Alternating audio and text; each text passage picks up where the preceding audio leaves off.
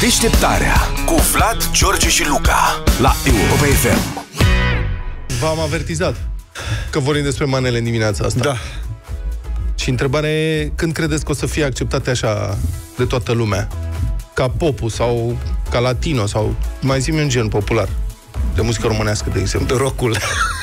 N-am vrut să bag rocul în această...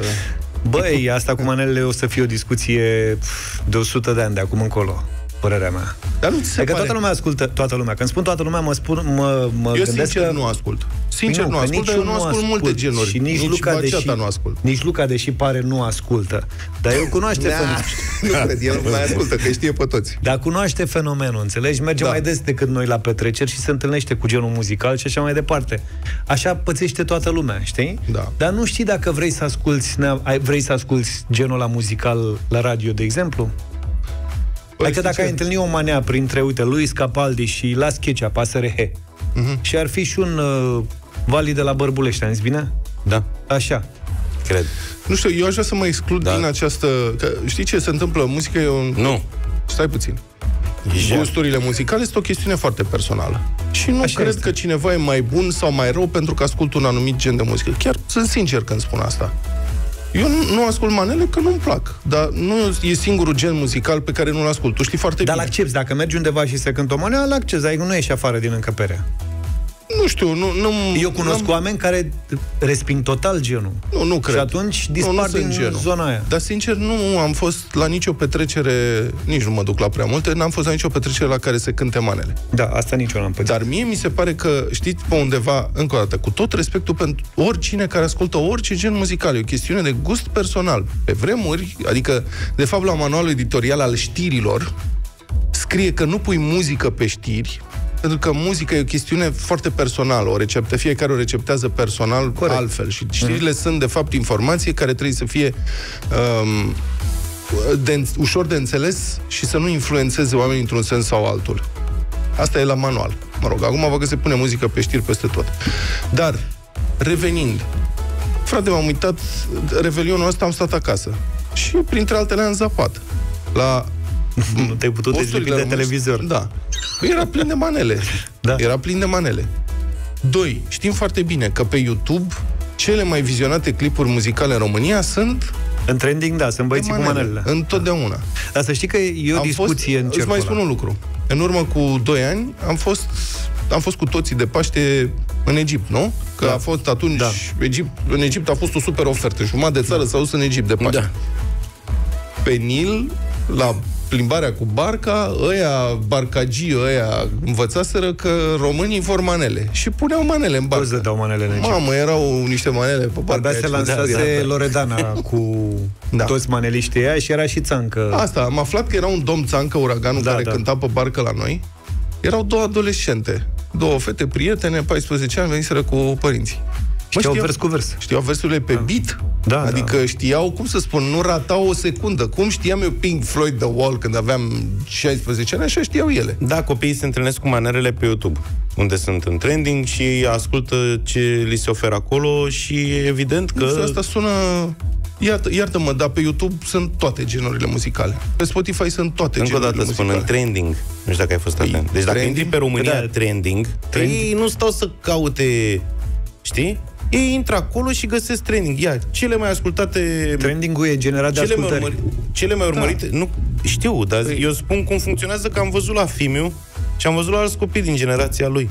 Ei intră acolo și văd cele mai Dar aș- vizionate filme și Bun, și asta confirmă, videoclipuri. fapt, asta confirmă faptul că sunt foarte ascultate. Categoric. Și știți ce? În timp ce noi, nu, nu mă feresc de asta, noi avem Păi avem această ipocrizie. Noi nu dăm manele la radio, nu dăm manele la televizor, nu e la nu știu ipocrizie. ce. Dar ce este? Nu, mie mi se pare că genul ăsta muzical nu este potrivit la radio. Adică e ce un nu e gen potrivit? muzical potrivit la petreceri. De-aia se și difuzează Păi și de, de ce? Revelion, inclusiv la ProTV, de exemplu, care Dar un post mai cu baciata ștaif. este, un, e, baciata este un gen muzical care merge la radio? Nici baceata. E. Nu, serios. Fugi, Da, dar nu. SRH de ce dăm? Da, SRHC. ASRH. E tu de petrecere. Deci o dăm la radio. Plus de asta, manelele mi se pare că au un spectru foarte larg, în ciuda aparențelor. Deci Adică pentru sunt și audiență piese largă. vesele și de petrecere și curățele. Sunt și multe piese pline de tânguieli. Ca în orice gen. Acum... Da, și sunt și multe mizerii din Așa, toate punctele de vedere. Ca în orice gen, nu? Ca în orice gen, corect. Bun. Da. Știți ce se întâmplă? Străinii care nu au poate idiosincraziile noastre în ceea ce privește manelele și cine ascultă manele sau cine cântă manele, mulți dintre ei sunt foarte deschiși. Sunt surprinși și, bă, le plac foarte mult. Și avem diverse cazuri. Ultima, ultima întâmplare este cu un actor din The Fast and the Furious, uh-huh. Tyrese Gibson. E, nu știu exact ce rol joacă, mă rog, în fine, l-a văzut pe un domn manelist, Narcis de la Bărbulești. Înțeleg că majoritatea maneliștilor nu au nume de familie, ei trebuie să vină de unde au un prenume și vin dintr-un într-un loc, dintr-un cartier. Da, dintr-un... geolocație. Da, nu știu ce faci când sunt doi Bogdan de la Ploiești, de exemplu. Uite cum e Luca de la Obor. Știi? Luca de la Obor, da. da. De asta n-am auzit de Narcis Bun. de la Bărbulești, îmi cer scuze. Deci domnul Vlad Narcis de la, de la Corbeanca. Da. da. Și primește, îi trimite, îi trimite mămixa lui Tyrese Gibson, mămixa îi trimite, îi trimite o filmare da. cu Narcis de la Bărbulești cântând. Da. Și ăsta este dat pe spate, adică face Dumnezeule, vreau să aud mai mult vocea ta, scoate niște super interjecții, zice, este, oh my god, nu pot să cred asta, uh, wow, wow, nu știu ce. Și vreau să difuzăm, deci, este Tyrese ăsta care se filmează Ascultând. în timp ce îl ascultă pe Narcis. Și pe fundal o să auzi, auziți pe Narcis și auziți și comentariile acestui actor american. This is why I like tapping into other cultures. Listen to this.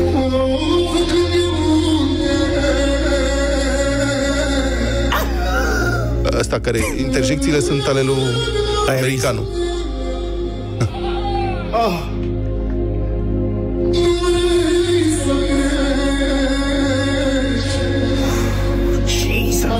Jesus. Narcise pe de la grele. Știi câtă meserie? îți trebuie să faci asta? Ne scrie un ascultător că este fiul lui Ștefan de la Bărbulești, care era pe vremea mea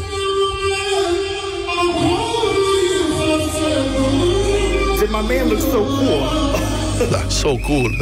Face, Narcis face, cred că i-a fost foarte frig în copilărie și a învățat să cânte când era frig, așa. Acum o să vedem pe Beyoncé făcând asta bine, nenumărate comentarii, Narcis să-ți aduce lacrimi în ochi, divin, vocea lui mă trimite într-un loc liniștit și așa mai departe. Deci, străini, Snoop, Doggy Dog, s-a filmat în timp ce era rupt. Ah, da. Și l-a ascultat, nu mai știu ce ascultat, cred că a ascultat Salam. Da. Vezi că e o chestie de percepție, că și noi am ascultat mai devreme Saga Pao și Șicădâm, da. care Aș dacă intre pe greci, da, pe grecii cu nas subțire, da. spun astea? Am Manele. vorbit eu cu, da, cu grecoaica la care am stat uh, anul trecut în vară și care era pe la 40 de ani, uh-huh. trăită pe la Bordeaux, și am întrebat-o de muzica lor. Și mi-a o, doamne, da. adică era rușinată exact. de astea, ce e ne plac turiști. nouă, erau, da. Dar vă mai spun un singur lucru, vă reamintesc, tangoul, care este un dans super pasional, foarte în continuare la modă, sunt școli de tango în toată Europa, inclusiv în București găsești Milongas, cred că se cheamă, sper să nu mă înșel acum. Ceva plăișturi. Tango era uh, un gen muzical privit cu scârbă în societatea argentiniană da, da, da, da. când a apărut. Cu scârbă pentru că era considerat murdar, un dans care se practica în bordeluri, între homosexuali și curve. Da, mă aștept peste 50 de ani toată elita României să asculte manele Asta și e. să se prefere la Florin Salam, cum vorbim noi de Maria Tănase acum. uh, 0372069599 Da, întrebarea. Când credeți că vor deveni manelele acceptabile social? Și când vor intra în playlistul radiourilor mainstream, asta spun, când vor începe să fie difuzate și de radiourile și de televiziunile mainstream.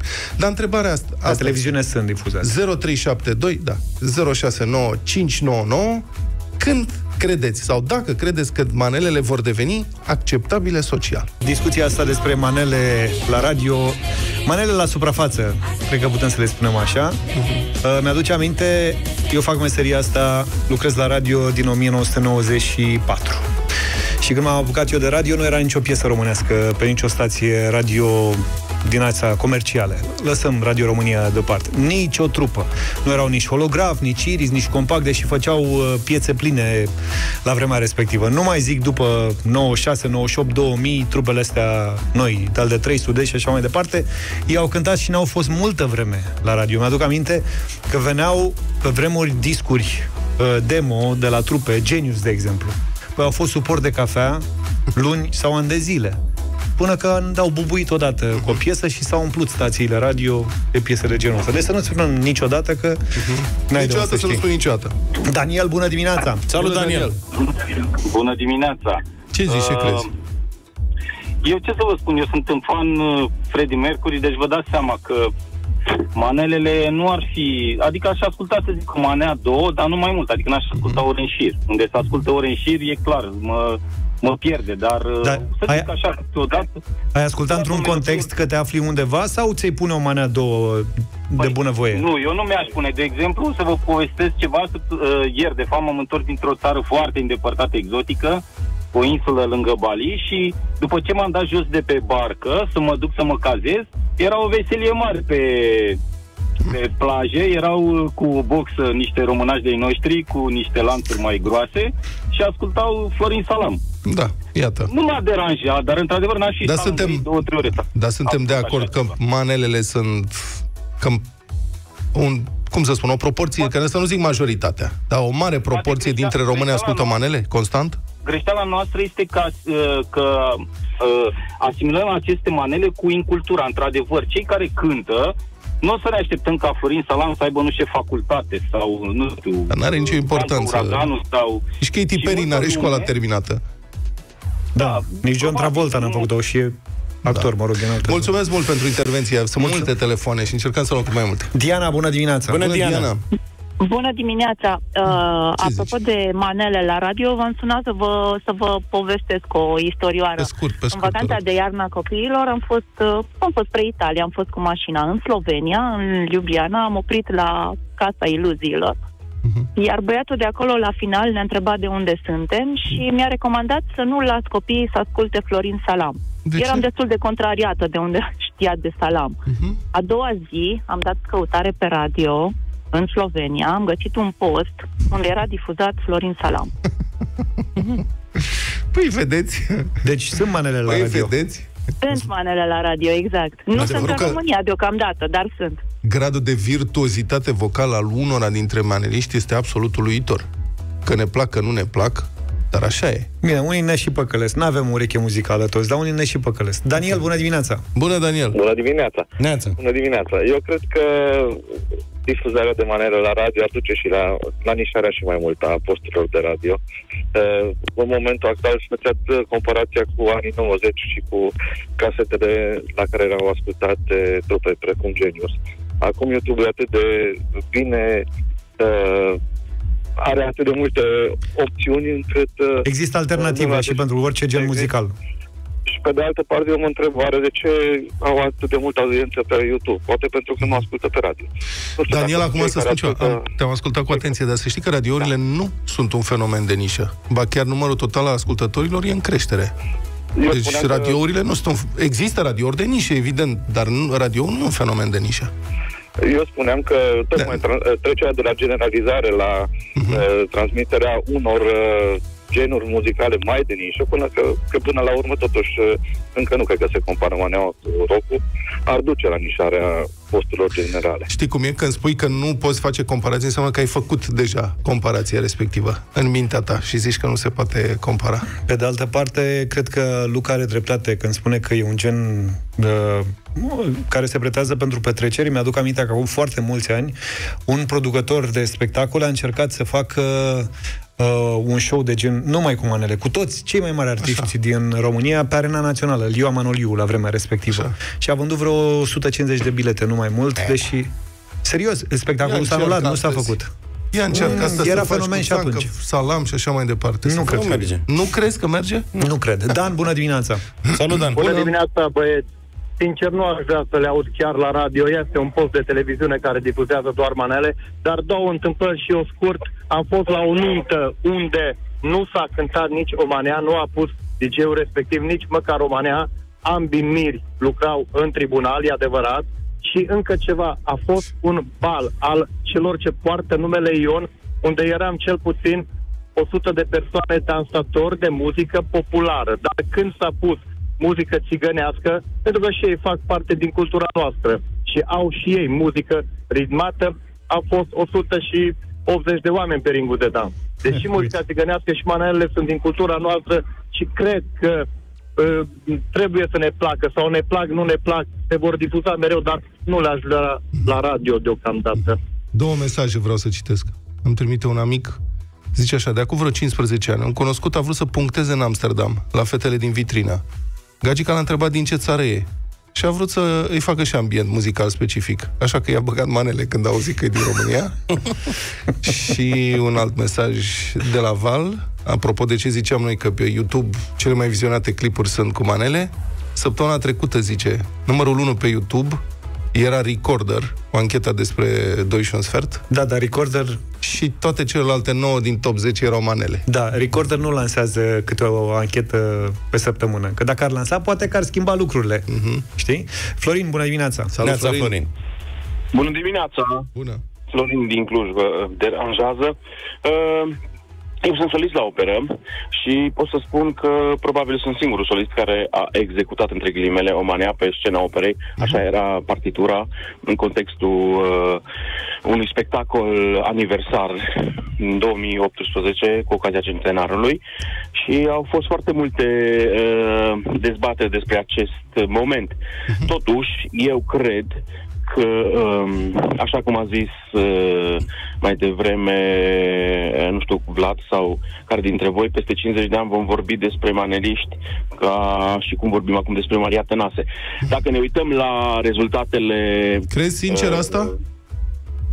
Cred. Nu vreau să cred, dar din păcate așa e. Demografic, din punct de vedere demografic, cum ne-a arătat și uh, ultimul recensământ, în curând vom asculta muzica majorității. Nu știu dacă e trist sau... dar sigur e adevărat. Nu știu Am dacă înțeles. ai Mulțumesc foarte frumos. Acum să știți că muzica aceasta e ascultată nu de o minoritate. Exact. cred că ascultă mulți uh, au fost și multe, foarte multe mesaje scrise și vreau să închei cu unul dintre ele care ne spune că la Brașov există un post de radio cu manele care are sloganul Mulți ascultă, puțin recunosc. Bravo! Deșteptarea cu Vlad, George și Luca la Europa FM.